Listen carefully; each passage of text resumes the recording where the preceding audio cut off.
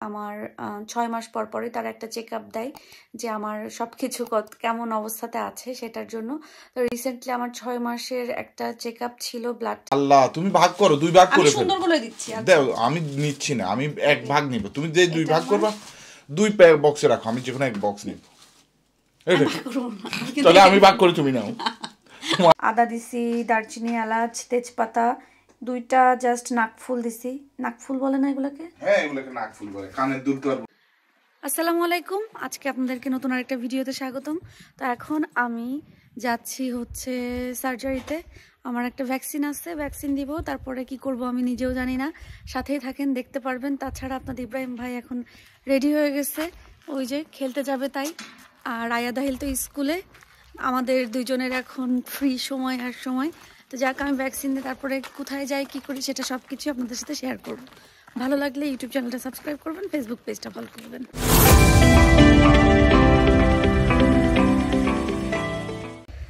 সার্জারিতে চলে আসছি। আজকে আমাকে দিছে হচ্ছে কসাম এটা কি? আচ্ছা কসাম পার্ক হাউস। সো এখানে চলে আসছি, এসে আমি ভ্যাকসিন দিয়ে নিই। ভ্যাকসিনটা কেন দিয়েছি সেটা ভ্যাকসিন দেওয়ার পরে আপনাদেরকে বের হয়ে বলি।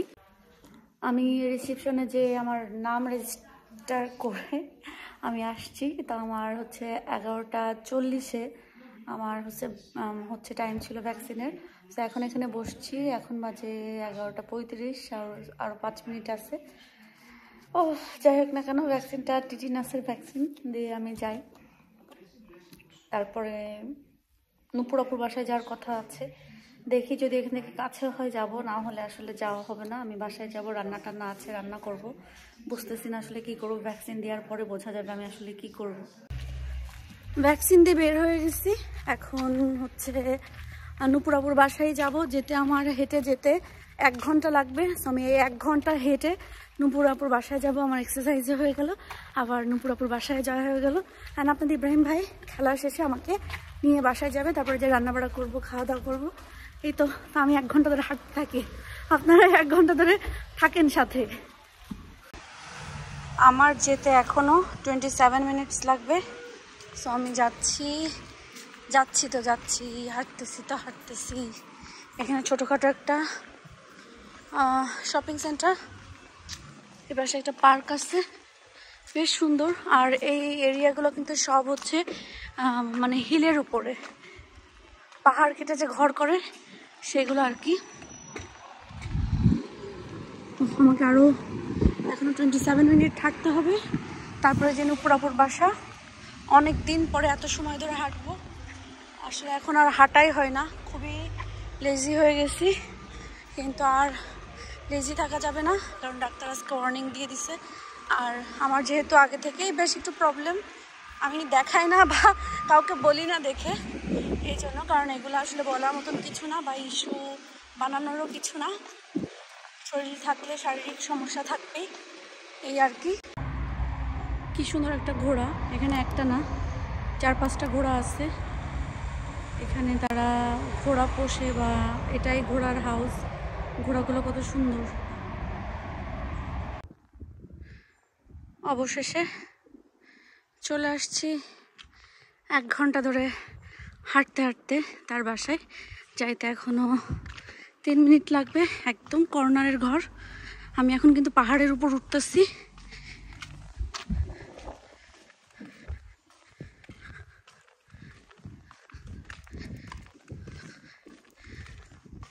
আল্লাহ।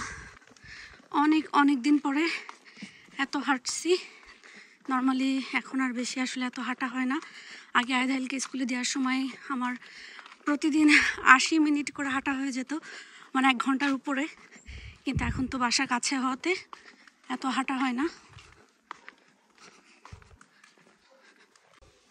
অবশেষে এসে গেছি বাসায়। বহুদিন পরে বহুদিন পরে। আল্লাহ, আমার জন্য বেড দেন। আমি ঠাস করে পড়ে, ঠাস করে পড়ে যাব।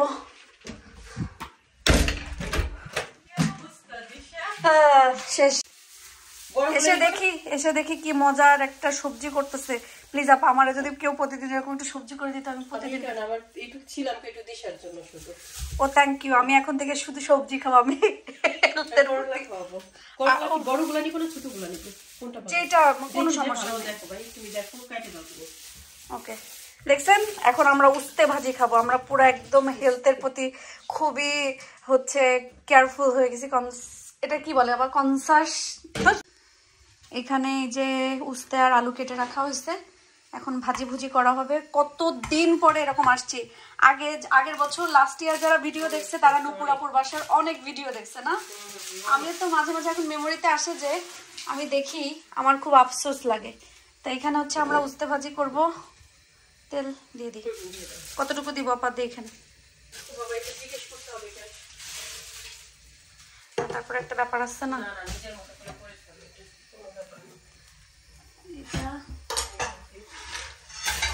এর ভিতরে কি করি এর ভিতরে পেঁয়াজ আর কাঁচামরিচ দিয়ে ব্যাপার না আমার জুতাটাই বেশি কষ্ট দিচ্ছে আমি বললাম না তাছাড়া ঠিক ছিল এরকম জানলে আমি ট্রেনার পরেই আসতাম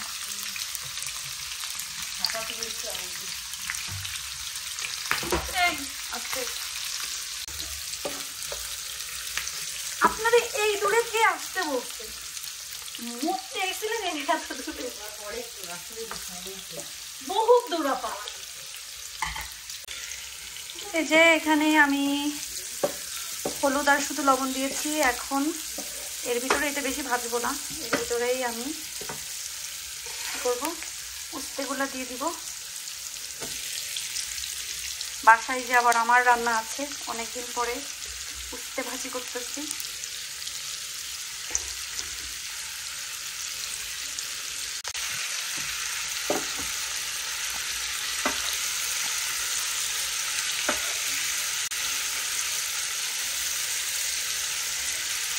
উস্তে কিন্তু সবসময় আপনারা একদম ফুল গ্যাসে ভাজবেন। না হলে স্লো গ্যাস দিয়ে দিলে কিন্তু উস্তেটা পিতে হয়ে যাবে। ফুল গ্যাস দিয়ে সুন্দরভাবে আপনারা হচ্ছে ভাজি করে ফেলবেন তাহলে দেখবেন আর তিতে লাগবে না। উস্তে ভাজি শেষ। আর এই উস্তে ভাজিতে গরম গরম ভাত দিয়ে ঘি দিয়ে দেশি গাওয়া ঘি দিয়ে ভাত খাইতে হবে আপা। কোনো আমি তো খাব না বাট আমি জাস্ট বলতেছি। ঠিক আছে আবার ভাজা ভাজা করব? মন মতন হয়েছে? হ্যাঁ হ্যাঁ অনেক যান আপনার মন মতন হইলেই হয়েছে যেই সুন্দর মরিচ ধরে আছে শুধু তাই না? তার কিন্তু অনেক সুন্দর বড় একটা গার্ডেন আছে। গার্ডেনে কি? গার্ডেনে কি কি আছে? আমি একটু দেখাই আসি। সমস্যা নেই। কতদিন পরে আসছি? এবার সে সিম গাছ লাগাইছে খিরা ধরছে তো আপা। সিম সিম একটা না দুইটা? এই যে বেগুন গাছে বেগুন ধরছে, এই বেগুন দিয়ে কি দিয়ে? শুটকি আলু দিয়ে খাইতে খুবই মজা। এই বেগুনগুলো বেশিরভাগ মাগুরার দিকে বেশি হয়। আমার গাছে তো তেমন ধরে নাই, কারণ আমার গাছের গাছটা ছোট। যাক, কিছু করার নেই। এদিকে কি? কোনটা? লালটা? ও দেখে আমি তো আর পাইলাম না, আমার চোখ কান্না হয়ে গেছে। এই যে টমেটো, এখানে বিনস আছে, তারপরে টমেটো হয়েছে মিষ্টি কুমড়া গাছের ছোট ছোট পিচ্ছি পিচ্ছি মিষ্টি কুমড়া। আমারগুলাই কি হয়েছে আমি জানিও না যাই না তো অনেকদিন হয়েছে গার্ডেনে এগুলা হচ্ছে ইংলিশ বিনস যে কাঁচামরিচ ধরছে।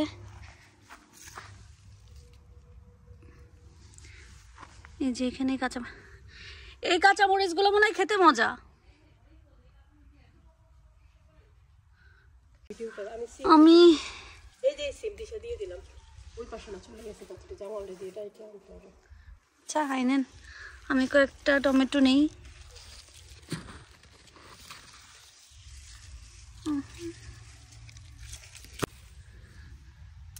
কি সুন্দর হ্যাঁ আমরা মরিচ তুলে এই যে গাছ থেকে মরিচ তুলে তুলে খাই এটা ভাত দিয়ে খাইতে হবে না মুড়ি মাখা দিয়ে? মুড়ি মাখা দিয়ে অনেক চানাচুর দিয়ে অনেক মজা লাগবে এটা। মজা লাগে? একদম ঘ্রাণ? তো। এই থাক আর না থাক। এই যে এখন আমাদের খাওয়ার সময় দুপুরের খাবার এটা পরোটা কাবাব সবজি সাথে আছে হলো উস্তে ভাজি আমরা এখন এটা নিয়ে খাব। সাথে আমি একটা গাছ থেকে পেরে এই যে কাঁচামরিচ নিয়ে আসছি এই কাঁচামরিচটা খাব।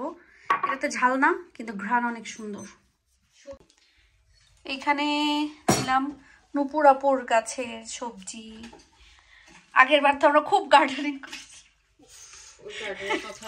প্রকাশ করা যাবে না। কি যে হইল। এবার দুইজনে মার্শাল্লাহ খাইতে পারছে। সেটাই। কি কষ্ট কত কিছু। বাট আমি এই মরিচটা নিয়ে খুব বেশি এক্সাইটেড কোনো সমস্যা নেই আলহামদুলিল্লাহ এবার আল্লাহ আমারে বহুত দিছে। আপনারা যে দিতে পারছি খাওয়াইতে পারছি আমি খুব খুশ। সবাইকে যে দিছি খাওয়াই আপনাদের ইব্রাহিম ভাইয়ের জন্য নাকি আমি কিছুই করি না। সব জায়গায় শুধু বদনামি গেয়ে বেড়াই। সুনাম কখনো করতে শুনলাম না। তো আজকে আপনাদের সাথেই দেখায় যে তার গলায় খুসখুস করতেছে ঠান্ডা লাগছে। তা আমি একটু মশলা চা বানাই দিচ্ছি। এরপরেও দেখবেন কালকে উঠে বলবে বা আজকেই বলতে পারে আবার যে আমি কিছুই করি না। আমার নামে কি বদনাম হচ্ছে? এই যে চাটা বানাচ্ছো এটা তো তুমি আরও এক ঘণ্টা আগে বানানোর কথা ছিল এত লেট কেন? সেটাই বলতাম সারা রাত ধরে জাল দিতাম সকালে ওঠার সাথে সাথে আপনার মুখ ঠেসে ধরে মুখের ভিতর দিয়ে দিতাম এটা একটা ভালো ছিল। তা আমি যাই হোক এখানে তার জন্য একটু মশলা চা বানাচ্ছি আদা দিছি দারচিনি এলাচ তেজপাতা দুইটা জাস্ট নাকফুল দিছি। নাকফুল বলে না এগুলোকে? হ্যাঁ এগুলোকে নাক ফুল বলে। কানের দুল তো আর বলবে না। আচ্ছা যাই হোক। এটা দিছি। জাল হবে। জাল হইতে হইতে এটা থেকে সব মশলা বের হবে। তারপরে যে আমি হালকা লিকার দিয়ে তাকে চা দেবো। লঙ্কা। লঙ্কা না রে লঙ্কা তো চিলি দেখো এটা তো লঙ্কা। হ্যাঁ এটা না। নুপুর বা- নুপুরাপুর বাসার থেকে তো দেখলেন যে আমরা ওখানে বসছি গল্প টল্প করছি। দেন আপনার ইব্রাহিম ভাই ব্যাডমিন্টন খেলে আসার সময় আমাকে নিয়ে আসছে। এখন তাকে একটা ঝাল চা বানায় দিচ্ছি মানে মশলাপাতি দিয়ে চা তার নাকি একটু গলা ব্যথা যেটা অলরেডি পুরো বাংলাদেশ হয়ে গেছে। আমি ন্যাশনাল টিভিতে দিতে চাইছিলাম বাট সুযোগ পাই নাই। সুযোগ হয়নি। আচ্ছা নেক্সট টাইম আপনারা পাবেন। যাই হোক না কেন তো এখন আমি আমার ঘরের জন্য রান্না করতে হবে। আমার ছেলেরা আসবে ছেলেরা আসলে ওদের খাওয়া দাওয়া। তো আমি এখন আমার ঘরের জন্য রান্না করতে যাব। ভিডিও দেখতে থাকেন দেখেন আজকে আমি কি রান্না করি। আজকে খুবই মজার দুইটা তরকারি রান্না করব। আর এখানে আমার জন্য টি রেডি হচ্ছে। দিছি forward to মিষ্টি কতটুকু দেখলে হবে? আমি দিচ্ছি। মিষ্টি দিয়ে দিছো? হ্যাঁ হ্যাঁ। ওকে আমাদের এক বক্স আম আসছে। এটা কালকে কিনছি। অবশ্যই এটা জালাল ভাই কিনছে মনে হয়। মানে অল দ্য বক্সেস জালাল ভাই। আচ্ছা। তো এখন আমার আম ভাগ হবে। আম ভাগ হবে কেন? আমি তো বেশি খাই না তুমি বেশি খাও। কারণ আমি বলি কারণ হচ্ছে আমি কম খাই বেশি খাই সেটা না। সকালে উঠে দেখব কি আমার নাই। কারণ আপনাদের ইব্রাহিম ভাই বেশি আম খায়। আমার আম যেটা দেখা গেল এটা আমি আমার জন্য রাখছি আমি খাব। এখন আমি তিন দিন পরে খাই পাঁচ দিন পরে খাই আমার। ব্যাপার। বাট সে কি করবে? দেখতেছে যে আমি খাই না সে খেয়ে ফেলবে। সো ওরকম কোনো চান্স নাই। আমার আম আমি এক পাশে থাকবে ও আমি দেখব শোপিস হিসেবে রাখব। বাট না, না, না, আমি নষ্ট হতে দিব না। ভাগ হইতেছে হইতেছে। আ ভাগ করো অসুবিধা নাই। এটা আমার আচ্ছা। ছোট ছোট বড় বড় একবারে দিও তোমার বড় একটা আমার বড় একটা। না সেটা আমি বড় করতেছি তো এখন। না ওটা ছোট। আচ্ছা তুমি দুই ভাগ করো আমি এক ভাগ নিয়ে যাব। ভাগ তো তুমি করছ না ভাগ তো তুমি করতেছো। ওকে না এটা এটা ভাগ এটা তুমি- নাকি এটা? ওকে যাও। এটা একটা আল্লাহ তুমি ভাগ করো দুই ভাগ করে ফেলো। সুন্দর করে দিচ্ছি আর দেও আমি নিচ্ছি না আমি এক ভাগ নিব। তুমি যে দুই ভাগ করবা দুই প্যাক বক্সে রাখো আমি যেখানে এক বক্স নিব। তাহলে আমি ভাগ করে তুমি নাও। এলোমেলো না এলোমেলো করবে কেন? তুমি ভাগ করবে আমি এক ভাগ নিয়ে যাব। এরপরেও তুমি যেগুলো খেতে পারবে না ওইগুলো আমি খাব। আমার। না? ইস তুমি দুই ভাগ করবে আমি এক ভাগ নিব। কোন ভাগ তুমি? হুম। এটা আমার। হুম হুম হুম। আচ্ছা হয়েছে এখন তুমি এখানে চারটা রাখছো ওখানে চারটা। আমি ওই চারটা নিব। আমি ওই চারটা নিব। কেন? তাহলে তো তুমি ভাগে কারচুপি করছ। একটা আমি একটু বড়। ভাগে কারচুপি করছ। না একটা আমি শুধু বড় তাছাড়া কিন্তু সবগুলো আমি কিন্তু। নষ্ট নষ্ট দেখে নিয়েছি। নষ্ট আচ্ছা হ্যাঁ, যে নষ্ট বক্সটা আমাকে দিয়ে দাও তুমি ভালো বক্স নরম নরম না না এই নষ্ট বক্সটা আমাকে দাও তুমি ওই ভালো বক্স আচ্ছা। না না না না ও এটা বদলাইলে আবার আমি ওই বক্স নিব। তা হবে না হবে হবে এটা আমার। না আচ্ছা আপনার আমগুলাই বেশি সুন্দর। আমার এত সৌন্দর্যের দরকার নেই আমি বুঝছি কোনটা খাব আমি। চকচকা। আমাদের জন্য দুপুরে রান্না করতেছি তো মিট রান্না করব।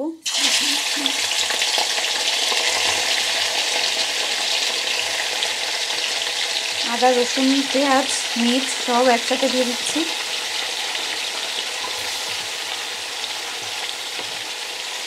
কারণ আজকে রান্না করতে একটু দেরি হয়ে গেছে। এই জন্য ভাবলাম যে সব তাড়াহুড়ো করে একসাথেই আমি সুন্দর করে রান্না করে ফেলি। এখন এই তেলের ভিতরেই হলুদ দিয়ে পেঁয়াজ, আদা রসুন, দারচিনি, এলাচ সব কিছু দিয়ে মাংসটা একটু কষায় নিব। যেহেতু এটা ল্যাম্প তো আমি আগের প্রসেসিং ওইভাবেই রান্না করব। এটাকে নাড়াচাড়া দিয়ে আমি এখন ঢেকে রাখব। দিয়ে দেবো প্রয়োজন অনুযায়ী লবণ। দিয়ে এটাকে নাড়াচাড়া করে ঢেকে দেই।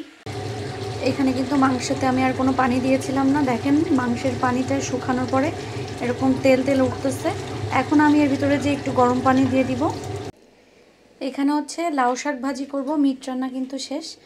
আমি পাতিলটা একটু চেঞ্জ করে দিয়েছি, কারণ আমার পাতিলটাতে একটু মাংসটা ধরে গেছিল এটা। আর হচ্ছে এখানে বেঞ্জিরের বাসা থেকে যে লাউ শাক নিয়ে আসছিলাম, সেটা আজকে রান্না করতেছি। অনেক কষ্ট হয়েছে আমার এগুলো ছুলে কুটে রেডি করতে। দ্যাটস আমি এই কাজগুলোর থেকে খুবই বেশি দূরে থাকি। বাট যাই হোক না কেন, মনে হচ্ছে অনেক বেশি মজা হবে। বাট আমার আজকে ইচ্ছা করছে আমি হচ্ছে ভাজি খাব। বাট এখনও জানি না যে আপনাদের ইব্রাহিম ভাই কি বলে। তো জাস্ট আমি লাউ শাকটাকে একটু বয়েল করে নিচ্ছি। চিংড়ি মাছ দিয়ে খেতে চাইলে, আলু দিয়ে খেতে চাইলে, এটা আমি কষানোর ভিতরে দিয়ে দিব। আর যদি ভাজি খেতে চাই, তাহলে আমি আমি পেঁয়াজ রসুন দিয়ে, কাঁচামরিচ দিয়ে বাগারে দিয়ে দিব। যদিও নিজের বাগানেই লাউ শাক ছিল বাট এই বছরেই দ্বিতীয়বারের মতন মনে হয়, দ্বিতীয়বার, তৃতীয়বারের মতন আমি লাউ শাক খাচ্ছি বাট লাউ শাক ভাজিটা আমার ভালো লাগে। তো এই প্রথমবারের মতন মনে হয় আমি লাউ শাক ভাজি খাচ্ছি। তো প্রথমে তো দেখছেন যে আমি আপনার, কি বলে এটাকে, লাউ শাকটা বয়েল করে নিচ্ছি। এখন আমি এখানে সব রসুন, পেঁয়াজ, এই যে রসুন, পেঁয়াজ, কাঁচামরিচ সব একবারেই দিয়ে দিব। দিয়ে এটাকে একটু ভেজে নেব দেখো এটাকে একটু ভাজবো, ভাজার পরে এর ভিতরে আমি লাউ শাক দিয়ে দিব। পেঁয়াজ আর রসুনটা একটু ভাজা ভাজা হয়ে আসছে, বেশি ভাজবো না, তাহলে কিন্তু শাকে একটা বেশ স্ট্রং ফ্লেভার আসবে বা পোড়া পোড়া গন্ধ আসবে যেটা আমার পছন্দ না। আপনারা যারা আছেন, যদি বেশি ভাজা পছন্দ করেন, ভেজে, বেশি ভেজে তো দেন বা দেবেন, ব্যাপার না। আর আমি এখানে আগে এই যে শাকটাকে একটু বয়েল করে রাখছিলাম, এখন আমি। পেঁয়াজের ভিতরে দিয়ে দিলাম পেঁয়াজ, রসুন। এখন এটার সাথে আমি মিক্স করব শাক ভাজিটা আমার এইভাবে খেতে ভালো লাগে কেন জানি না। মানে শুধু শাকটা নিয়েও এইভাবে বসে খেতে ভালো লাগে এইভাবে রান্না করলে, ভাজি করলে আর কি। প্লেটে নিয়ে শুধু শাক খেতে অনেক ভালো লাগে।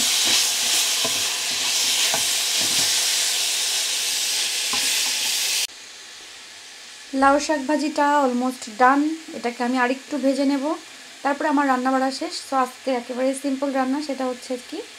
লাউ শাক ভাজি, আর সাথে আছে হলো মিট কারি আয়াদাহিল অলরেডি অবশ্য ভাত খেয়ে ফেলছে। এখন বাকি আছে আপনাদের ইব্রাহিম ভাই। আর আমার রাত্রেবেলা আমরা বেশ অনেক দিন পরে গার্ডেনে আসছি। আন্দাজে। কই দেখি? মনে মরে গেছে। ও ওই হালা ময়ূরী করফুল করফুল মার গায়ে কিন্তু অনেকগুলো এই যে আচ্ছা ফুল ফুলগুলা ফুলগুলো কাটতে হবে। এই ফুলগুলো কুমড়া গাছে রক্ষা দাও তুমি ওই কুমড়া গাছে আক্রমণ করো প্রত্যেকটা আগা নিয়ে আসো হ্যাঁ হ্যাঁ। ওই যে ওইগুলো আগে কাটতে হবে আগা। লাউটার কি আরও একটা লাউ আছে এখানে বড় বড় না এগুলো আর হবে না। ঠান্ডা পড়ে গেছে হবে না হবে না। এটা তো হইছে আবার কুমড়ার আগা হ্যাঁ বেশি মাটিতে যাওয়ার দরকার নেই হ্যাঁ এইভাবে কাটলেই হবে। বিসমিল্লাহ। এগুলো তুমি বহুত দজ্জাল